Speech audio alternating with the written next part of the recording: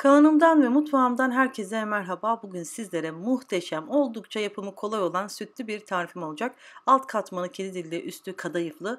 Bunun için öncelikle 1 litre sütümün içerisine 4 yemek kaşığı nişasta ekliyorum. 3 yemek kaşığı da un ekliyorum. Ve yapım aşamasına başlıyoruz bu kolay ve lezzetli tatlının.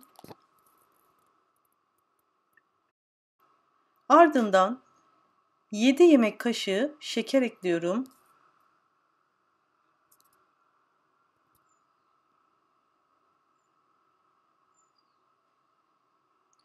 Ocağa almadan önce un, şeker ve nişastayı güzelce karıştırıyorum. Ardından ocağa alıp kaynayana kadar karıştırarak pişmeye bırakıyorum. Karıştırmayı hiç bırakmayın. Topaklanma olmadan pürüzsüz bir kremamız olsun.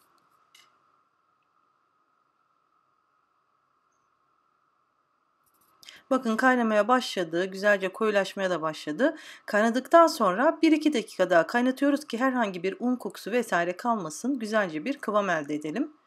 Bakın bu şekilde göz göz kaynıyor. Ocaktan alıyorum.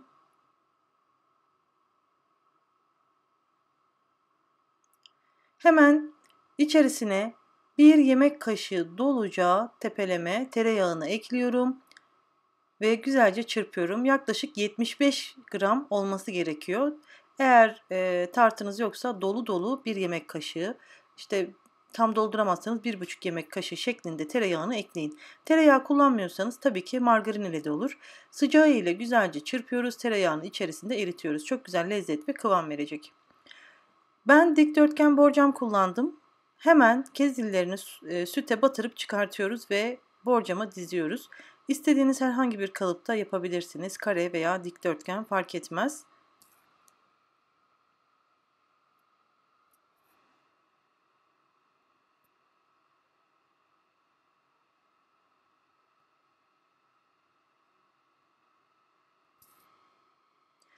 Hazırlamış olduğumuz kedilerin üzerine kremamızı hemen bekletmeden döküyoruz.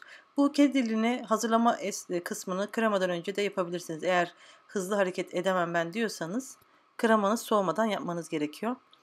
Üzerine de hazır kavrulmuş e, kadayıflar oluyor. Onlardan döktüm.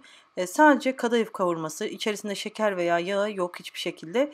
Ben e, alıp taze alıp güzelce kavurup buzdolabına kaldırmıştım. İstediğim zaman kullanıyorum. Buzdolabınıza kaldırmanıza bile gerek yok. Kavrulduğu için hiçbir şekilde bozulmayacaktır. Üzerine de ceviz ekliyorum.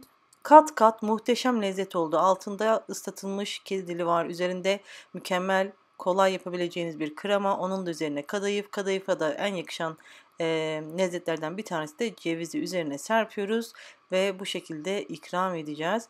E, ben bir gece dinlendireceğim. Hem güzel oturacak tatlımız hem de daha da bir lezzetlenecek. Akşamdan yaptım. Sabah kahvaltıya gelen misafirlerim için ikram edecektim. E, bu şekilde hazırladım. Şimdi dilimleyeceğim ve size dilimlenmiş kısmını göstermek istiyorum. Kıvamını göstermek istiyorum. Umarım sizler de dener ve beğenirsiniz. Beğeni ve yorumlarınız benim için çok değerli ve kıymetli. Şimdiden videomu beğenmeyi unutmayın ve herhangi bir yorumunuzu da bırakmayı unutmayın. Bekliyorum. Şu an tatlımızı dilimliyoruz.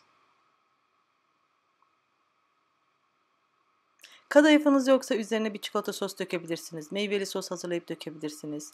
Yani muhteşem e, her türlü yapabileceğiniz kolay sütlü tatlı tarifidir.